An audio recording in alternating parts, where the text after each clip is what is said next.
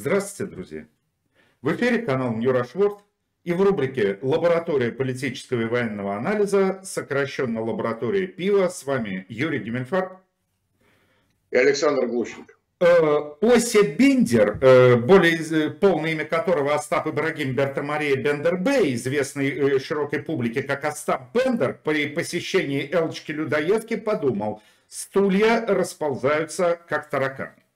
Перефразируя э, Осю Бендера, можно сказать, э, оружие в Российской Федерации расползается как таракан.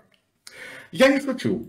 Э, дело в том, что в Нижнем Новгороде дворник нашел в мусорном контейнере ПЗРК «Игла». Как э, сообщается, э, это произошло на улице Сергея Акимова. Мужчина увидел около мусорного контейнера некий зеленый тубус, как сообщается, сильно похожий на корпус зенитки. Это пишет «Комсомольская правда». Сильно похожий, очень грамотно. Но ладно, это не важно. Дворник вызвал полицию. Приехавшие взрывотехники обнаружили около помойки ПЗРК «Игла». Правда, сообщается, что взрывчатого вещества внутри не было, опасности для окружающих ПЗРК не представлял. Э, дело в том, что такое игла. Это переносной зенитно-ракетный комплекс СА-18, э, разработанный еще в Советском Союзе, предназначенный для поражения низколетящих воздушных целей на встречных и догонных курсах в условиях тепловых помех принят на вооружение 1981 году находится на вооружении армии России, стран СНГ, а с 1994 года экспортируется более чем в 30 государств мира. То есть э, теперь добавилось 31 государство, мусорный контейнер. Сань, э, а атомную бомбу там случайно не могут найти? Как он туда вообще попал? Чуть за бред? Сейчас объясню. Дело в том, что система э, учета, хранения, использования и списания всего, что связано с эксплуатацией вооружения, она очень четко и ясно прописана mm-hmm. в вооруженных силах. Дело в том, что даже любая гильза, вот, допустим, от автомата, от пистолета, от пулемета, должна быть сдана на склад. Если ты после проведения стрельбы не сдал соответствующему начальнику службы вооружения необходимое количество гильз, там вплоть до того, ну вот у меня бывали случаи, когда э, несколько часов нужно, а, представьте, вот зима, допустим, да, горячая гильза падает в снег, растапливает этот снег, уходит на дно этого сугроба, да, и в любом случае ее нужно найти, посчитать, описать, составить акт на списание и после этого сдать на склад. Так я тебе Нет, больше и... скажу. Когда в 82 году э, я проходил военные сборы, и э, после караула э, разряжали оружие, один чечундрик, наш студент, он вначале дослал патрон патронника АК-74 потом снял магазин и нажал на спуск. Произошел выстрел задолбались объяснительные писать, гильзу искали, там все. Я поэтому и глаза страшное такие дело. вытащил. Это страшное дело. Да. Первый же день, когда любой солдат приходит в армию, каждый командир ему объясняет, сынок, нет гильзы, нет патрона. То есть после стрельбы. Ты сдай, ты, ты же украл патрон, получается, да. если нет гильзы. Здесь, даже в принципе, знаю. вот это даже даже какой-нибудь стрелянный вот этот вот ПЗРК, э, он, естественно, э, ну, предмет особого учета. Я не знаю, кто его вытащил с территории воинской части. Я даже скажу, где в Нижнем Новгороде, я там довольно долго прослужил, где он мог быть использован. Это, скорее всего, Мулинский полигон. Угу. Там проводятся стрельбы э, переносными зенитными ракетными комплексами. И я сам в них участвовал. Это Мулина, это Э, километров э, примерно 80-90 от Нижнего Чего? Новгорода, Мулина, Смолина. 80? Да, да, да. Это не, ты не оговорился? 80-90 километров? Же... Охренеть. Почти 100 ну... километров. Отстрелянный ПЗРК, э, ну, раз там он не представлял опасности, как определили взрывотехники, значит, там заряда уже не было, он отстрельный. Какой-то чичундер тащил его 100 километров для того, чтобы выбросить в мусорный бак? Это что за разгильдяйство?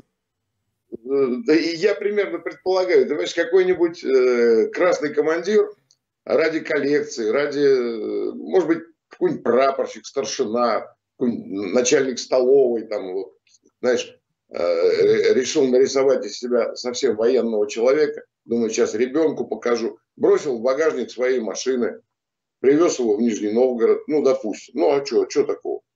Э, принес квартиру, потом, э, допустим, Ребенок наигрался, он решил его выбросить. Да, да, да. Саня. Да может он помер. Может, он помер уже, а жена выбросила. Саня, Такое же может я опять же вспоминаю тот случай э, со Шмоном, когда из... Э, а, причем тогда, ты понимаешь, там гильза так получилось, она еще в траву отлетели. Там э, нас всех... Ищите гильзу, мать вашу! Если из-за гильзы такой вопль был, то какой там шмон должен быть из-за пропавшего ПЗРК. Я специально, подчеркиваю, я специально посмотрел в новостных лентах, нигде никакого шмона из-за пропавшего ПЗРК не было. Я... Не было. Нет, это, это, это отголоски вот этих лихих 90-х, когда бардак был жуткий. Когда можно было с территории части вынести все, что угодно.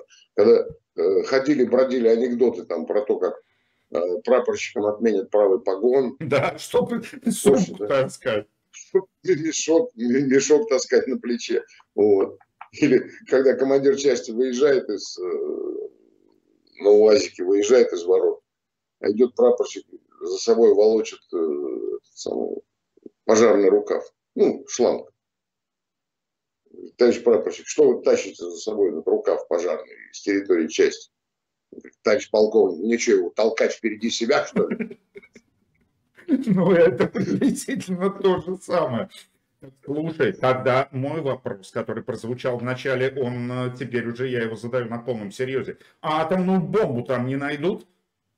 Э, насколько мне известно, в Нижнем Новгороде тоже, так же, как и на, на нашей с тобой исторической родине, по-моему, тоже находится э, точка, где расположены компоненты ядерной триады.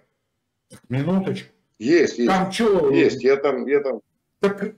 6 лет прожил, знаю. Ну и что тогда должны ожидать? Э, что атомную бомбу там найдут? Это что за раздолбайство? Ее без взрывчатого вещества. А, значит, О -о -о. взрывчатое вещество э, э, украдут заранее. Господи, до какой же степени раздолбайства дошли вооруженные силы при э, великом полководце, э, маршале, э, виноват, генералиссимусе Сергее Кожугетовиче Шойгу. Это до какой же степени это доходит? Ну, так вот происходит. А я, я ясно, четко скажу. Э, кто не хочет кормить свою армию, тот будет кормить чужую. Или не будет вообще никакую кормить, и вообще никакой армии не будет. Те условия, в которых сегодня существуют вооруженные силы, я имею в виду с точки зрения денежного удовольствия, с точки зрения э, квартирного обеспечения, с точки зрения э, технического обеспечения. Это полнейшая нищета и полнейшее бесправие. Главным образом бесправие. Э, вот результат, пожалуйста. Будут, будут, будут у вас и э, тоннами вывозить из воинских частей солярку, будут у вас валяться ПЗРК на помойках, будут и атомные бомбы валяться на помойках, потому что так к армии относиться нельзя. А, между прочим, самое главное, это, э, я выскажу мое оценочное суждение, Сань, поправь, но главное, это именно бензин и солярка, потому что если техника стоит с сухими баками, а на кой черт она нужна? Они что, стрелять будут по своим? Нет. Э, Ее не вывести на позиции. Вывези солярку, укради все э, ГЦМ и все, армия встала. Я не прав? Да. Нет, а это железно. А кто, кто, кто, кто, кто против-то? Дело в том, что там такие масштабы хранения того же ГСМ, э, ну, вот, кстати, тех же самых боеприпасов, того же самого оружия. Там огромные масштабы. Ты понимаешь, э, есть э, расчетно-снабженческие единицы, которые определяют, сколько, допустим, в месяц, там, в неделю, в год там, должно расходоваться на боевую подготовку, на повседневную деятельность воинской части, сколько должно расходоваться того же ГСМ, сколько боеприпасов должны расходоваться на учебную практику. И все это можно списать, все это можно украсть, все это можно вытащить, вынести и так далее. И вот в заключении я выскажу тоже мое оценочное суждение. Э, только э, официально на руках у россиян порядка 5 миллионов единиц стрелкового оружия. Но вот при том, о чем сейчас вот Саша сказал, я э, даже мне страшно представить себе масштабы, какое же оружие хранится у россиян на самом деле на руках, если вот в помойках находят ПЗРК. Впрочем, дорогие друзья, очень интересна ваша точка зрения. Напишите, пожалуйста, в комментарии. Я, как всегда, напоминаю, выводы делать только вам. Подписывайтесь на канал Нюрашворд. До встречи. Пока.